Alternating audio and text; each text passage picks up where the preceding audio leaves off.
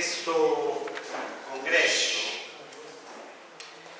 è un congresso che avviene dopo vent'anni del sistema bipolare, di profonda crisi della seconda repubblica,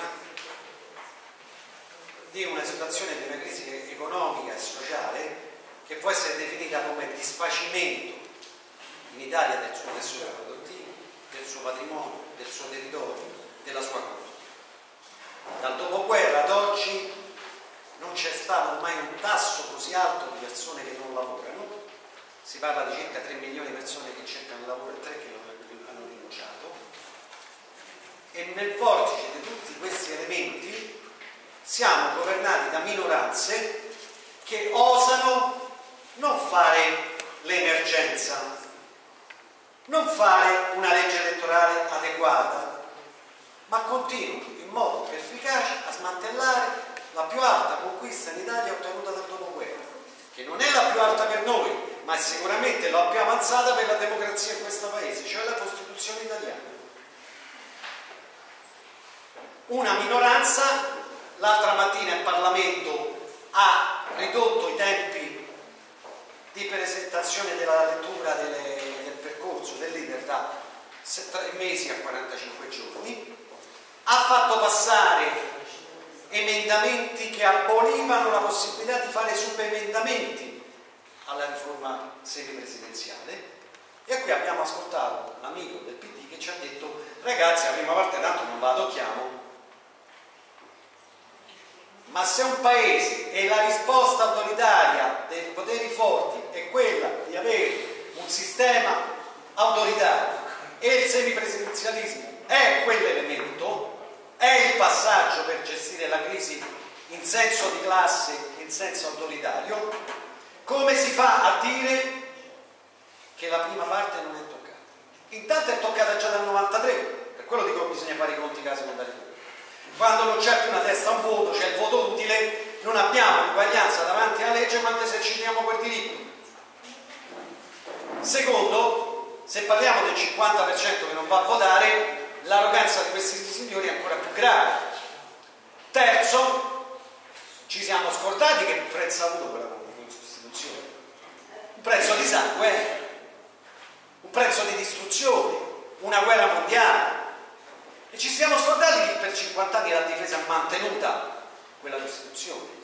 Altro sudore, altri prezzi, altre discriminazioni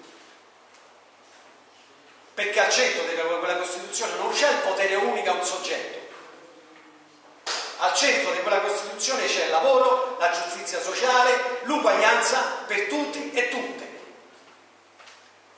Allora io qui lascerò un ordine del giorno che leggo solo il titolo per una mobilitazione nazionale permanente a difesa della Costituzione, ovvero da settembre a testa bassa per organizzare nei territori e a livello nazionale le mobilitazioni su questo tema perché per i comunisti il tema della democrazia e il socialismo sta insieme e tutto quello che ci siamo eh, conquistati col sudore e con il sangue lo dobbiamo difendere perché se no passeremo per una generazione di incapaci, di vigliacchi, di incompetenti.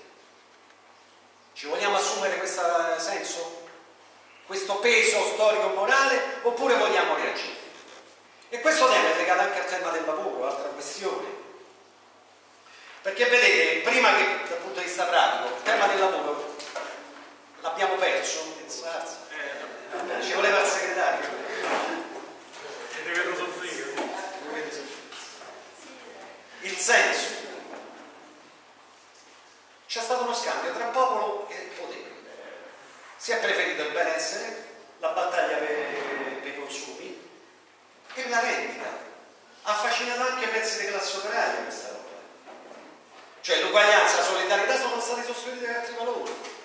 E quindi parlare di sindacato, parlare di lotte, parlare di vertenze, se non riparte da sto tema, che mette al centro i rapporti di potere nel mondo del lavoro e nella produzione e il ruolo della vecchia e nuova classe operaia, dei lavoratori della baracca della mente, come ruolo dirigente per ricostruire un senso di comunità nazionale, noi non sapremo reagire alla frammentazione di questo paese, alla perdita di memoria, alla mancanza di un collante tra, tra nord e sud del paese. E quindi diventa centrale questa roba qui, perché anche qui c'è stata la sinistra riformista che ci dice che non verrà toccata la prima carta della Costituzione, che però si dimentica che l'articolo 3 non è un consiglio, è eh, quello della Costituzione. Dice che è compito dello, della, della Repubblica rimuovere le condizioni che impediscono al lavoratore di avere un salario, una casa, uno, un lavoro degno di questo nome, una vita di